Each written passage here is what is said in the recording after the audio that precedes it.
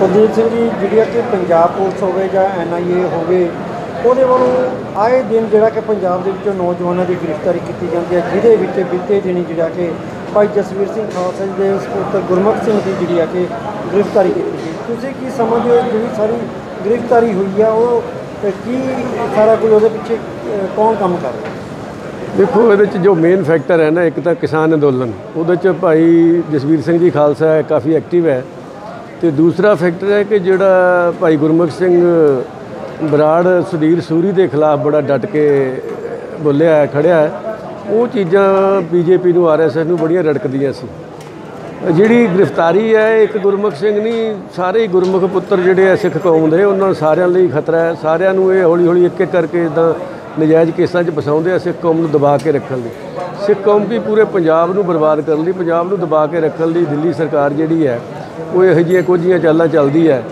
ਕਦੇ ਇੱਥੇ ਨਿਰੰਕਾਰੀ, ਕਦੇ ਪੰਡਿਆਰੇ ਵਾਲਾ ਸਾਧ, ਕਦੇ ਸਰਸੇ ਵਾਲਾ ਸਾਧ, ਕਦੇ ਕੰਗਣਾ, ਕਦੇ ਗੁਰਦਾਸ ਮਾਨ, ਇਹ ਸਾਰੀਆਂ ਜਿਹੜੀਆਂ ਹਰਕਤਾਂ ਇੱਥੇ ਕੁਝੀਆਂ ਕਰਾਉਂਦੇ ਆ ਪੰਜਾਬ ਦੇ ਵਿੱਚ ਲਾਂਬੂ ਲਾਉਣ ਲਈ। ਉਹਦਾ ਹੀ ਇੱਕ ਪਾਰਟ ਹੈ ਗੁਰਮੁਖ ਸਿੰਘ ਦੀ ਗ੍ਰਿਫਤਾਰੀ ਵੀ। ਕੋਈ ਦੇਖੋ, ਇੱਕ ਤਿੰਨ ਬੱਚਿਆਂ ਦਾ ਬਾਪ ਹੋਵੇ ਔਰ ਇੱਕ ਬਿਜ਼ਨਸਮੈਨ ਹੋਵੇ, ਉਹ ਇੱਕ ਅਖਬਾਰ ਚਲਾ ਰਿਹਾ, ਉਹਦਾ ਐਡੀਟਰ ਹੈ। ਔਰ ਉਹਦਾ ਆਰਡੀਐਕਸ ਨਾਲ ਜੋੜਨਾ ਜਾਂ ਅੱਤਵਾਦ ਨਾਲ ਜੋੜਨਾ ਇੱਕ ਬੜੀ ਹਾਸੋਹੀਣੀ ਗੱਲ ਹੈ।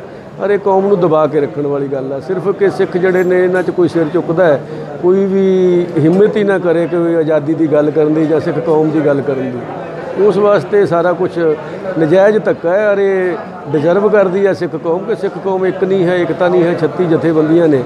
ਤੇ ਇਹਨਾਂ ਨਾਲ ਇਦਾਂ ਕੁਝ ਜੋ ਹੋ ਰਿਹਾ ਹੈ, ਇਹ ਗੁਰੂ ਦੇ ਭਾਣੇ 'ਚ ਹੀ ਹੋ ਰਿਹਾ, ਜਦ ਤੱਕ ਇਦਾਂ ਖੇਰੂ ਖੇਰੂ ਰਹਿਣਗੇ, ਇਹੀ ਕੁਝ ਵਾਪਰੇਗਾ, ਇਹਨਾਂ ਨਾਲ ਇਹੀ ਕੁਝ ਹੋਣਾ ਹੈ।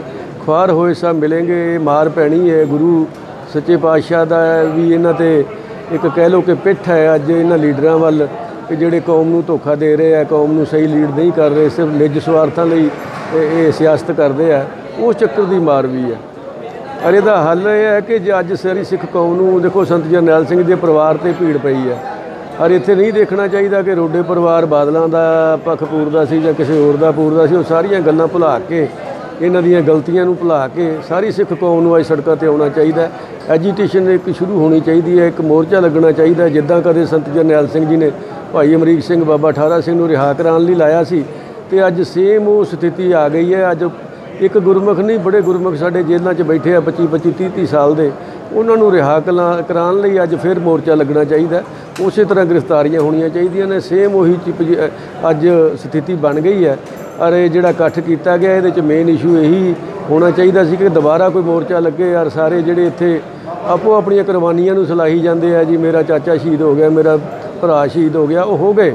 ਉਹ ਇੱਕ ਸਾਡੇ ਨਾਲ 37 ਸਾਲ ਦਾ ਇੱਕ ਘੱਲੂਕਾਰਾ ਵਾਪਰ ਰਿਹਾ ਸੀ, ਵਾਪਰਿਆ ਔਰ ਚੱਲ ਰਿਹਾ ਉਹਨੂੰ ਠੱਲ ਕਿਵੇਂ ਪਾਈ ਜਾਵੇ, ਕੌਮ ਨੂੰ ਸੇਧ ਕਿਵੇਂ ਦਿੱਤੀ ਜਾਵੇ, ਉਹਦੇ ਵਾਸਤੇ ਅੱਜ ਲੋੜ ਹੈ। ਦੁਬਾਰਾ ਉਸ ਤਰ੍ਹਾਂ ਜਿਵੇਂ ਸੰਤ ਜਰਨੈਲ ਸਿੰਘ ਜੀ ਨੇ ਮੋਰਚਾ ਲਾਇਆ ਸੀ, ਇੱਕ ਮੋਰਚਾ ਲੱਗੇ ਔਰ ਗ੍ਰਿਫਤਾਰੀਆਂ ਦਿੱਤੀਆਂ ਜਾਣ ਔਰ ਸਿੰਘਾਂ ਨੂੰ ਰਿਹਾ ਕਰਾਇਆ ਜਾਵੇ।